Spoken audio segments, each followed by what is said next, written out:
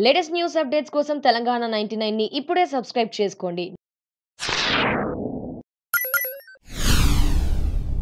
మిత్రులందరికీ పేరు పేరున వందనం.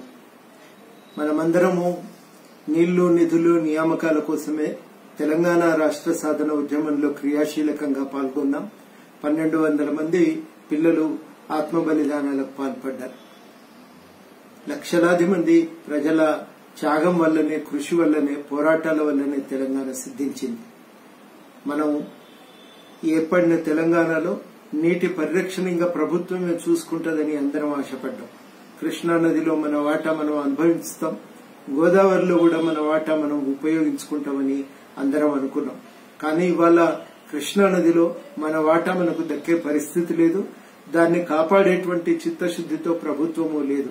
అది ఇవాళ నిజంగా మనం చెప్పుకోవలసిన ఒక పెద్ద విషాదం. ఈ నీటి తరలింపుకు చాలా అక్రమమైనటువంటి పద్ధతుల్లో ఆంధ్రప్రదేశ్ ప్రభుత్వం కదులుతా ఉన్నాయి శ్రీశైలం డ్యాం నుంచి ఇవాళ మొత్తం నీటి తరలింపుకై ఒక కొత్త జీవోను ఆంధ్రప్రదేశ్ ప్రభుత్వం జారీ చేసింది. అదే రెండు వందల మూడు జీవో. ఈ రెండు వందల మూడు జీవో పర్యవసానాలు అర్థం కావాలంటే ఒకటి రెండు విషయాలు సంక్షిప్తంగా చెప్పుకోవాలి. శ్రీశైలం డ్యాం ను వాస్తవానికి కేవలం జల విద్యుత్ ఉత్పాదన కోసం మాత్రమే కట్టారు. అట్లా విద్యుత్ ఉత్పాదన జరిగిన తర్వాత నీళ్ళు కిందికి వదిలితే వాటిని సాగర్ దగ్గర ఉపయోగించుకోవాలనేది ఆలోచన. కానీ ఆ తర్వాత మద్రాసుకు నీళ్ళిచ్చే ఉద్దేశంతో ఎప్పుడైతే తెలుగు గంగా ప్రాజెక్టును కట్టిండ్రో దానివల్ల ఈ సాగునీటి కోసం అని చెప్పి నీటిని కూడా విడుదల చేయవలసి వచ్చింది. అట్లా కేవలము జల విద్యుత్ కోసం తట్టి కట్టిన ప్రాజెక్టు నుంచి మద్రాసుకు నీళ్ళు ఇచ్చే పేరుతో దానికి తూము పెట్టిండ్రు. ఆ తూము నుంచి ఆ తర్వాత సాగునీటి కోసం తరలించుకోపోయే ఆలోచనతో దాన్ని పెంచుకుంటూ పెంచుకుంటూ పోయి చివరాఖరికి రాజశేఖర రెడ్డి కాలానికి అది నాలుగు టీఎంసీల నీళ్ళు తరలించేటువంటి స్థాయికి దాన్ని పెంచడం జరిగింది. దాని కింద రిజర్వాయర్లు కట్టిండ్రు. ఆ రిజర్వాయర్లలో ఈ నీటిని తరలించి దాన్ని ఎక్కడికక్కడ నిల్వ ఉంచుకోవటానికి కూడా ఏర్పాట్లు జరిగిపోయినాయి. ఆ దోపిడీ నుంచి కాపాడుకునే ఉద్దేశంతోనే తెలంగాణ పోరాటం సాగింది. ఇవాళ తెలంగాణ వచ్చిన తర్వాత ఆంధ్రప్రదేశ్ ప్రభుత్వంతో మాట్లాడి అన్నింటినీ సామరస్యపూర్వకంగా పరిష్కరిస్తానని చెప్పి మన ముఖ్యమంత్రి అన్నారు. కానీ వాస్తవానికి జరుగుతున్నదేంది గోదావరి నీళ్ళు కృష్ణలో పోస్తాను కృష్ణను వాడుకోవచ్చు రాయలసీమను సుభిక్షం చేస్తానని. వాస్తవానికి గోదావరి నీళ్ళు కృష్ణా నదిలో పోసినమంటే తెలంగాణకు అన్యాయమే తప్ప ఇంకొకటి లేదు. అందుకని అట్లాంటి ఎత్తిపోతల పథకాలు ఏవి ఆలోచించొద్దని చెప్పి మనం అప్పుడే తెలంగాణ ప్రభుత్వానికి స్పష్టమైన సూచన చేసినాం. కానీ ప్రతిపక్షాల పట్ల గౌరవం లేనటువంటి ముఖ్యమంత్రి గారు ఎవరి సూచనలను పట్టించుకోవటం లేదు.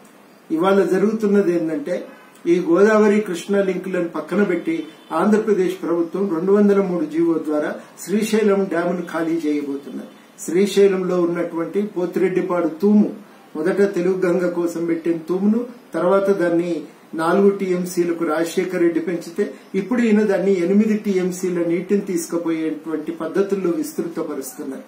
అయితే ఈ పోతిరెడ్డిపాడు తూము దాని మట్టం అనేది ఎనిమిది వందల నలభై ఒక్క అడుగుల స్థాయిలో ఉంటుంది. అంతకంటే కింది నుంచి అది నీళ్ళు తీసుకుపోలేదు. ఇప్పుడు కొత్తగా ఏం చేస్తున్నాడంటే ఈ తూము వెడల్పు చేస్తున్నాడు. దానివల్ల ఎనిమిది వందల నలభై ఒక్క అడుగుల పైన ఉన్న నీటిని చాలా వేగంగా మొత్తం శ్రీశైలం యొక్క పూర్తి నీళ్ళు నిండితే దాని మట్టం ఎనిమిది వందల ఎనభై ఐదు అడుగుల స్థాయిలో ఉంటుంది. ఆ ఎనిమిది వందల ఎనభై ఐదు అడుగుల నుంచి ఎనిమిది వందల నలభై ఒకటి వరకు ఉన్న నీళ్ళను తరలించుకోబోతుంది. మరి ఎనిమిది వందల నలభై ఒక్క దానికి దిగువన అప్పటికి కూడా ఇంకో యాభై నాలుగు టీఎంసీల దాకా ఆ రిజర్వాయర్లో నీళ్ళుంటాయి. దాన్ని తరలించకపోవటానికి రాయలసీమ లిఫ్ట్ ఇరిగేషన్ పేరుతో సంగమేశ్వరం దగ్గర మరో మూడు టీఎంసీ లిఫ్ట్ చేయడానికి మరో పథకాన్ని కూడా వాళ్ళు ప్రారంభించబోతున్నారు. అది ప్రారంభమైతే ఇక నెల లోపల మొత్తము శ్రీశైలం డ్యాం ఖాళీ అయిపోతుంది ఇటువైపు తెలంగాణలో కట్టిన ప్రాజెక్టులు ఆంధ్ర పాలకులు ఉన్నప్పుడు మొదలుపెట్టిన ప్రాజెక్టులు తెలంగాణ వచ్చి ఆరేళ్ళైనా ఇప్పటికీ కూడా అవి నత్తనడకని నడుస్తున్నాయి పూర్తి కావటం లేదు. వాస్తవానికి రెండు వేల పదిహేను పదహారు కల్లా ఇవన్నీ పూర్తి కావాలి. కానీ మన రాష్ట్ర ప్రభుత్వం చిన్న చూపు చూస్తుండటంతో ఆ ప్రాజెక్టులు పూర్తి కాలేదు. ఏ ప్రాజెక్టులు జూరాల నుంచి మనం ఎత్తిపోతల ద్వారా నీటిని తరలించడానికి నెట్టెంపాడు భీమా కోయిల్ సాగర్ ఈ ప్రాజెక్టులు మనం ఏర్పాటు చేసుకున్నాం. తర్వాత కృష్ణా నది నుంచి నీళ్ళు ఎత్తిపోయే పోయటానికని చెప్పి తోడిపోయటానికని చెప్పి కలవకుర్తి ప్రాజెక్టును కట్టుకున్నాం. ఈ నాలుగు ప్రాజెక్టులతో పాటుగా మనం పాలమూరు ప్రాజెక్టు కట్టాలని తెలంగాణ రాష్ట్రం ఉమ్మడి రాష్ట్రంలో ఉండగానే పోరాటం చేస్తే దానికి అప్పుడే అనుమతులు లభించినాయి. వాస్తవానికి నీళ్ళు జూరాల నుంచి ఎత్తిపోయాలి గాని మన ప్రభుత్వం దాన్ని శ్రీశైలం నుంచి తోడిపోసే ఆలోచనతో దాన్ని పూర్తిగా రీడిజైన్ చేసింది.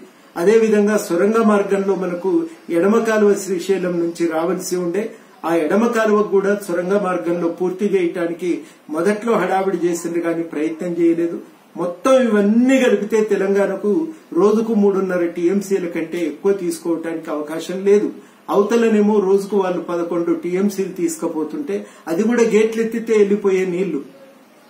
ఈ ఇంకా ఆ గేట్ల పోతిరెడ్డిపాడు తూము కంటే దిగువన ఉన్న నీళ్ళను ఎత్తిపోయటానికి రాయలసీమ లిఫ్ట్ ఇరిగేషన్ ప్రాజెక్టును కడుతున్నారు. ఇవి రెండు పనిచేస్తే నెల లోపల ఖాళీ అవుతుంది మనమేమో మూడు నెలలు పనిచేస్తే తప్ప అవి వాటి కేటాయించిన నీళ్ళను ఎత్తిపోయటం సాధ్యం కాదు. అందువల్ల ఏమవుతుందంటే ఈ ప్రాజెక్టులన్నీ నిరుపయోగంగా మారతాయి. ఇవాళ ఈ పరిస్థితుల్లో తెలంగాణ దక్షిణ తెలంగాణ ఎడారిగా మారుతుంది. రంగారెడ్డి గాని మహబూబ్ పూర్వ మహబూబ్ నగర్ రంగారెడ్డి నల్లగొండ అదేవిధంగా ఖమ్మం జిల్లాలు ఇవి ఎడారిగా మారుతాయి.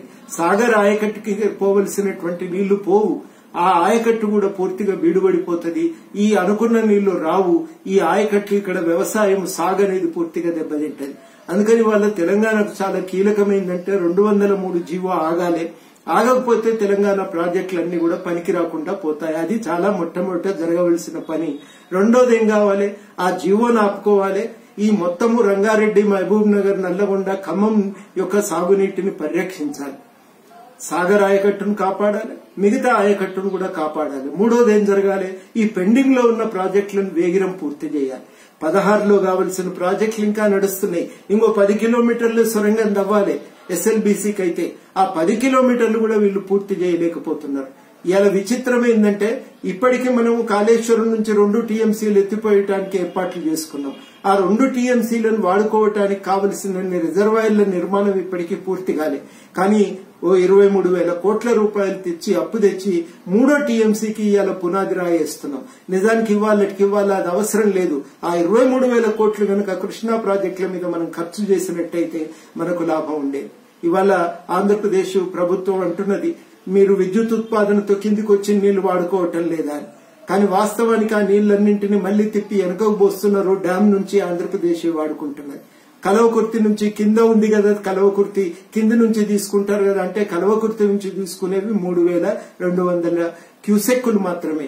అంటే దాదాపు పదకొండు వేల చిల్లర క్యూసెక్కులు అయితే ఒక టీఎంసీ నీళ్ళు ఒక రోజంతా పారితే ఒక ఒక టీఎంసీ నీళ్ళు వస్తాయి అంటే కల్వకుర్తి మూడు రోజులు నడిస్తే నాలుగు రోజులు నడిస్తే ఒక టీఎంసీ నీళ్ళు వస్తాయి. అంత చిన్న ప్రాజెక్ట్ అది. దాంతో ఒరిగిపోయేది కూడా ఏమీ లేదు. ఇవి గ్రహించి ఇవాళ తెలంగాణ ఆయకట్టు కృష్ణానది ఆయకట్టు అనేది ఒక ప్రమాదంలో పడింది. ఇవాళ రంగారెడ్డి మహబూబ్ నగర్ నల్లగొండ అనేది ఖమ్మం అనేది ఇవాళ పూర్తిగా పనికి రాకుండా పోయే ప్రమాదం ఉంది. మిత్రులారా మీ అందరికీ తెలుసు తెలంగాణలో ఏ ప్రాజెక్ట్ వచ్చినా ఎక్కడ ఓ నీటి బొట్టు వచ్చినా అది ప్రజల త్యాగాల ఫలితంగా పోరాటాల ఫలితంగానే వచ్చింది. ఎనభైల నుంచి నడుస్తున్న జలసాధన ఉద్యమాలు దుశ్చర్ల సత్యనారాయణ వంటి నాయకులు గాని అవతల అక్కడ సిపిఐ చేసిన హుస్నాబాద్ ప్రాంతంలో సిపిఐ నాయకులు చేసిన పోరాటాలు గాని జనగామ ప్రాంతంలో వరదారెడ్డి గారు వాళ్ళు చేసిన పోరాటం గాని కలవకుర్తిలో ఎత్తిపోతల పథకం కోసం అక్కడ జరిగినటువంటి పోరాటాలు గాని ఇవన్నీ కూడా చాలా కీలకమైనటువంటి పోరాటాలు. ఆఖరికి మేం విద్యావంతుల వేదికగా ఉన్నప్పుడు ఈ పాలమూరు రంగారెడ్డి ఎత్తిపోతల పథకం కోసం కూడా నలభై నాలుగు మండలాల్లో విస్తృతంగా గ్రామ గ్రామాన ప్రచారం చేసి ఒక చైతన్యాన్ని రగిలించడం అందువల్లనే అప్పుడు మనకు ఒక శాంక్షన్ వచ్చింది. ఇంత పోరాటాల వల్ల తెచ్చిన ఈ ప్రాజెక్టులను ఇవాళ వట్టిపోయే ప్రమాదం ఉంది. కానీ మన ప్రభుత్వం మాత్రం నిమ్మకు నీరెత్తినట్టుంది. నాకు తెలియదా?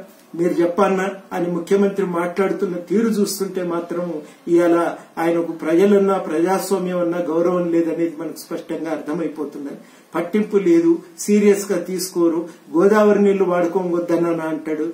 ఇవి గోదావరి నీళ్ళు ఇవ్వటానికి మీరెవరు పుచ్చుకోవటానికి వారెవరండి? ఏ స్కీమ్ అయినా ఒక ఒక పోరాటాలతో అనేక మంది బలిదానాల ఫలితంగా వచ్చినటువంటి తెలంగాణలో ప్రజల పట్ల ఒక బాధ్యతతో చిత్తశుద్ధితో వ్యవహరించవలసినటువంటి పని ఈ ప్రభుత్వానిది. ఆ బాధ్యతను మర్చిపోయి మన ప్రభుత్వం వ్యవహరిస్తున్నది. మనం గ్రహించాలి. ఇంతవరకు మన ప్రాజెక్టుల కోసం ఇట్ల కొట్లాడము ఇవాళ కృష్ణా నదిలో మన వాటాను దక్కించుకోవటానికి అదే పద్ధతుల్లో పోరాటం చేయవలసిన అవసరం ఉంది. అందరం కలిసి రిప్రజెంటేషన్ హైదరాబాద్లో ఇచ్చినాం. కానీ దాంతో ఒరిగేది ఏమీ లేదు. పల్లె పల్లెకు చేరి ఇవాళ తెలంగాణకు జరగబోతున్నటువంటి ఇబ్బందిని నష్టాన్ని మనం ప్రజలకు వివరించి చెప్పి వాళ్ళని చైతన్యపరిచినప్పుడు మాత్రమే మన వాటా మనకు దక్కుతుంది. అందుకే ఎక్కడికక్కడ ఈ కరోనా కాలంలో గ్రూప్ మీటింగులు పెడదాం. ఆ తర్వాత కాలంలో ఈ ఉద్యమాన్ని మరింత ఉధృతం చేద్దాం. కృష్ణా జలాల పరిరక్షణ ప్రభుత్వానికి వదిలేస్తే మనకు మిగిలేటట్టు లేదు. మనకు న్యాయం జరిగేటట్టు లేదు. నమ్మకం కనబడటం లేదు. వాళ్ళ మీద విశ్వాసం ఉంచే పరిస్థితి లేదు. అందుకనే మనమే నిలబడదాం కలబడదాం. మన కృష్ణ నీళ్ళను మనం సాధించుకుందాం. గోరేటెంకన్న అన్నట్టు బిరబిర వారిపోయేటువంటి కృష్ణమ్మ మా చేలలకు వచ్చి మా చేళ్ళను ఎప్పుడు ముద్దాడుతామని పాట పాడిండు. ఆ ముద్దాడే ఆశయం ప్రభుత్వమే నెరవేరుస్తుంది అనుకున్నాం కానీ చేసే పరిస్థితి లేదు. ఇవాళ మనమే నిలబడదాం మన నీళ్ళను సాధించుకుందాం. ఈ వీడియో గనక మీకు నచ్చినట్లయితే తెలంగాణ నైన్టీ నైన్ని సబ్స్క్రైబ్ చేయండి. అండ్ నోటిఫికేషన్స్ కోసం గంట కొట్టడం మర్చిపోవద్దు.